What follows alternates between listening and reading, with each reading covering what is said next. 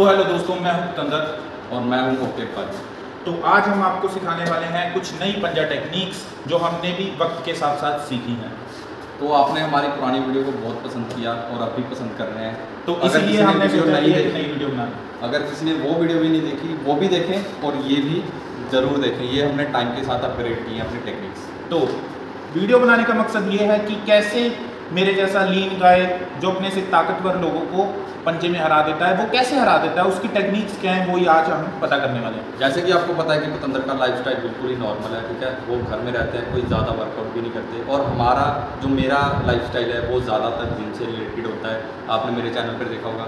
और हमारे साथ एक और शख्स ऐड होंगे, वो भी बॉडी वेट वर्कआउट करते हैं। और वो भी आपको सिखाएँगे कि पंजे की कुछ नई टेक्निक्स और आप भी उनसे ज़रूर सीखना। तो वीडियो आगे देखिए।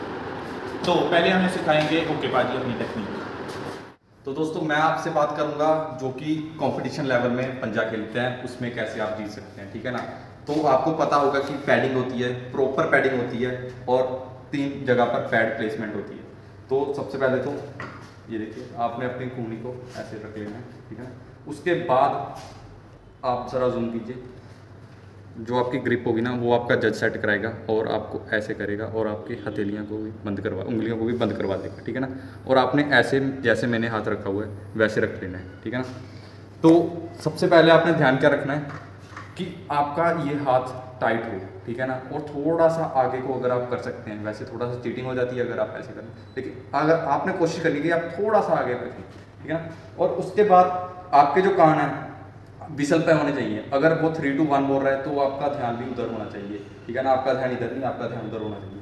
और जैसे ही वो वन बोलेगा थ्री टू वन और आपने अपनी तरफ़ से ऐसे देखिए दोबारा देखिए थोड़ा पीछे होकर। जैसे कि थ्री टू वन और ये देखिए। मैं थोड़ा सा मैं अपने नी को बैंड कर लेता हूँ और मेरी सारी फोर्स है वो इसको अब मेरी तरफ़ खींच लेती है। और लीवर की तरह।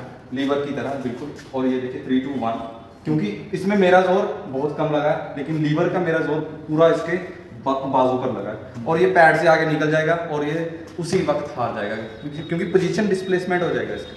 तो ऐसे आप जीत सकते हैं, जो कि टेक्निक सीखी है मैंने अपने वक्त के साथ। तो आप बताएँगे पुतंदर कि उन्होंने क्या सीखा है? तो मेरी टेक्निक बिल्कुल सिंपल है। पहली वही ग्रिप सबकी ग्रिप अपनी अपनी होती है। मेरी ग्रिप कुछ ऐसी है कि मैं, पहले तो ऐसे जब पकड़ता हूँ तो ज़्यादा से ज़्यादा हैंड कवर करने की कोशिश करता हूँ। अगर ये चीज़ कवर नहीं होगी तो आपको अकेला पुश ही लगाना पड़ेगा। पर अगर आपने पूरा हाथ कवर किया होगा तो आप जैसे चाहें उसे मैनिपुलेट भी कर सकते हैं। ठीक है? तो पहली टेक्निक तो हो गया हैंड कवर करने की। ज़्यादा से ज़्यादा कोशिश कीजिए हैंड कवर करने की। ठीक है? अगली टेक्निक ये है कि मैं इस चीज़ पर ध्यान देता हूँ कि मेरी पहले तो कूनी थोड़ी सी आगे हो।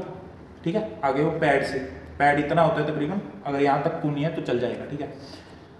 ताकि मेरा हाथ ज़्यादा से ज़्यादा स्ट्रेट रहे, ठीक है? अगर बैंड रहेगा आगे को तो अगले को थोड़ा सा आसानी हो जाएगी वज़न देकर हराने की, इसलिए ज़्यादा से ज़्यादा हैंड स्ट्रेट करने की पोजीशन में हो।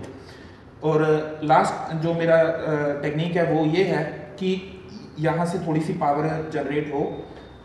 इसलिए मैं थोड़ा सा ना हल्का सा ऊपर हवा को रखता हूँ अपनी कूनी को, ठीक है? बिल्कुल पैड के साथ चिपका के नहीं रखता, हल्की सी ऊपर रखता हूँ ताकि एक ऐसे टाइटनेस की मुझे फील आए यहाँ पर कूनी कूनी और बाजू में, ठीक है? बाइसेप और यहाँ पर मुझे टाइटनेस की फील आए, इसके लिए थोड़ा सा हवा में मैं रखता हूँ।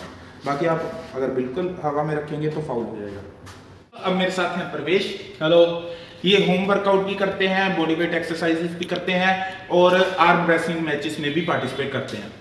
तो मेरी जो टेक्निक है, उसके बारे में कुछ ज़्यादा कुछ बोलने के लिए है नहीं, क्योंकि मेरी बहुत ही सिंपल टेक्निक है। सबसे पहले तो जिस हैंड से आप मतलब आर्म रेसलिंग करोगे वो हाथ आपका खाली होना चाहिए ठीक है? कोई भी इक्विपमेंट उसके मतलब उस हाथ में नहीं होने चाहिए ताकि आपको कोई स्ट्रेस फील हो। और दूसरा ये है कि आपकी जो पोजीशन है उसको एकदम टाइट रखनी है। टाइट ठीक है? और जब आप ग्रिप बनाओगे अपने ओपोनेंट के साथ तो फिर आपका ये होना चाहिए कि जो उसका जो थम है थम उस पर आपने पूरा स्ट्रेस डालना है। ताकि अगर जो आपका जो ओपोनेंट है, वो टॉप रोल करता है, ताकि उस टाइम आप क्या करो हुक कर दो। तो अगर आपका ओपोनेंट अगर आपका ओपोनेंट टॉप रोल करता है तो आप हुक कर सकते हो। अगर वो आपका ओपोनेंट टॉप रोल करता है तो आप डेड रिस्क कर सकते हो। मेरा बस यही है कि अपनी ग्रिप को स्ट्रॉन्ग करो और जो ज़्यादा से ज़्यादा ओपोनेंट के थम में स्ट्रेस डालो।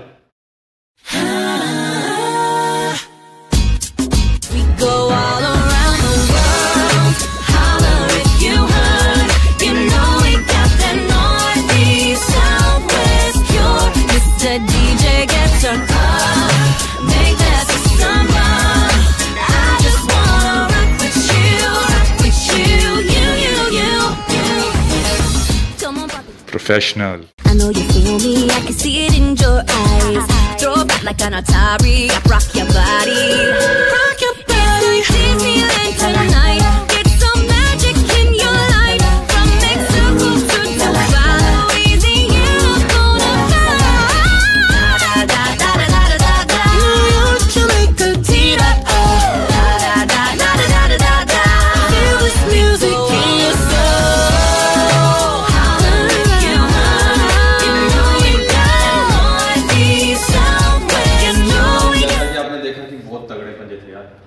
तो दोस्तों यही थी कुछ हमारी न्यू टेक्निक्स अगर आपको ये पसंद आई तो कमेंट सेक्शन में ज़रूर बताना।